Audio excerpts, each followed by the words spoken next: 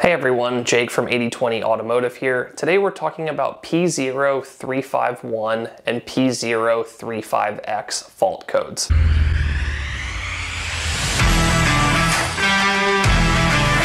A P0351 fault code will read ignition coil A primary slash secondary circuit. While that isn't by any means obvious, it does point us towards the ignition coil, and so we know this fault code has something to do with our ignition system, and more specifically, the ignition coils. Now, I said P0351 and P035X, and that is because the one at the end of P0351 stands for cylinder number one. So if you have an eight cylinder vehicle, that will go all the way up to P0358. And so that last number ultimately just denotes what cylinder is having the issue with the ignition coil. Ultimately, this video is specific to any one of these P0351 through 358 fault codes that affects an ignition coil within your engine. Before we go ahead and talk about how to fix a P0351 engine code, let's go ahead and talk a little bit about ignition coils, how they work, and what exactly the primary slash secondary means that we see when we read this fault code. So first off, this fault code is predominantly going to be geared towards vehicles that have a coil on plug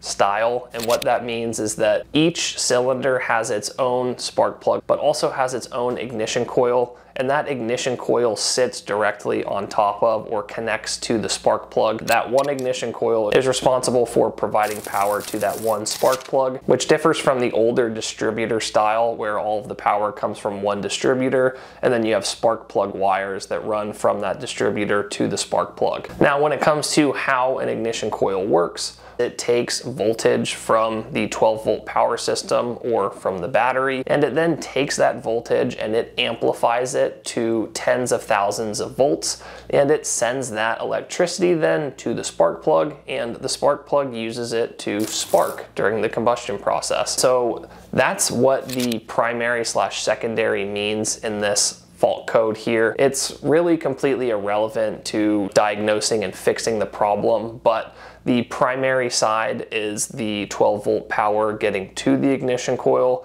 and then the secondary side is the amplified voltage that we then take and send to the spark plug. So ultimately a P035X fault code means that we have some electrical issue with either the primary or secondary circuit, which means we either aren't getting electricity to the ignition coil or we aren't generating the electricity from the ignition coil and sending it to the spark plug. And so that really gives us two potential issues here. Issue one being the ignition coil itself. Ignition coils do fail frequently, and so if the internal coil mechanism doesn't work, then it won't be able to amplify the voltage to send to the spark plug. And then the second possible thing is with the primary side of it or with the 12 volt power getting to the ignition coil. And so it's either an issue with the wiring, meaning that the 12 volt power is not getting to the ignition coil, or the ignition coil itself is just bad. From a signs and symptoms standpoint, an ignition coil is crucial to an engine cylinder firing properly. And so if you have a P035X code, whatever cylinder it's affecting, you're gonna notice things like misfires and the misfire from that single cylinder is gonna cause a number of performance related issues. You'll have rough idling, loss of power. Your car is gonna feel like it's hiccuping or missing a beat. So ultimately, this is a problem that you'll wanna get addressed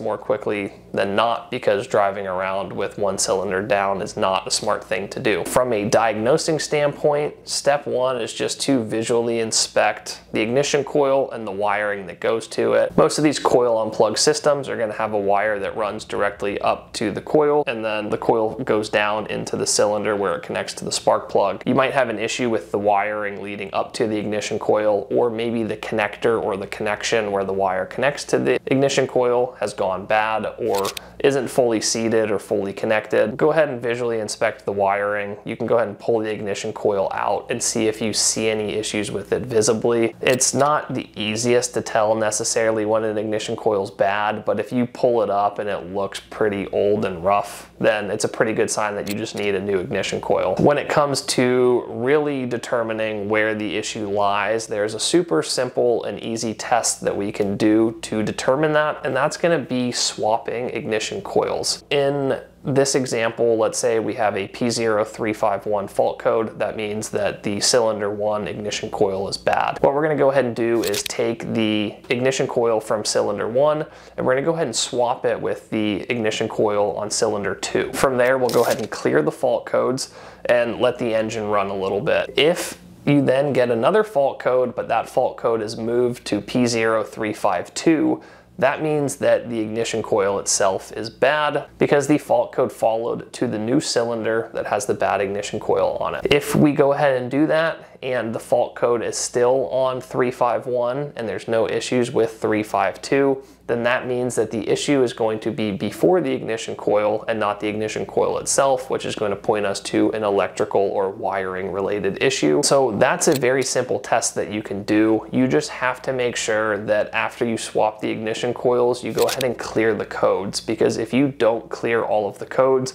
it's possible that the 351 could still be stored in there and then maybe now you're getting a 351 and a 352 and you think you might have both a wiring problem and a bad ignition coil. And that's really it. For the most part, a P035X fault code is going to be a bad ignition coil. There are some cases where you could have bad wiring, but a lot of the times that's going to be less likely of a cause as well because most ignition coils, the wiring harnesses run along the same harness and so it would be a little bit interesting to have an issue in the wiring with one coil and not with the others, but that's not to say it can't happen. It's just to say that if you have this issue, you probably just have a bad ignition coil. And I always say if you've got one bad ignition coil, you know, the other three, four, five, six, seven, however many cylinders you have are probably pretty close to failing as well. And so these are a good thing to replace at the same time. And while you're there, if your spark plugs haven't been replaced frequently, go ahead and replace the spark plugs as well. That wraps it up for our video on P035X fault codes. If you guys appreciate this, please click the like button, subscribe to our channel, and stay tuned for all of our future diagnostic content that's aimed at helping you save money and fix problems with your car.